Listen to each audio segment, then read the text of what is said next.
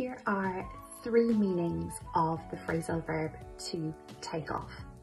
So first of all, we have to take off meaning to remove. For example, please take off your shoes before you come inside.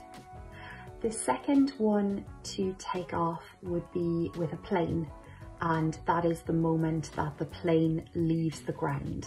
So for example, despite taking off late, we still arrived ahead of schedule.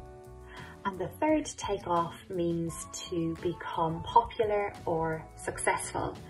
For instance, we have always offered online classes, but they really took off during the pandemic.